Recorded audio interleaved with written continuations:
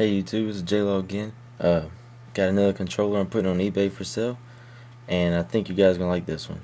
I did uh, the red to black fade, which is kind of a trademark of mine now, a fade, and I did on the back side, and I got chrome tiger stripes going through it, and uh, LB and RB are chrome, and the triggers are white.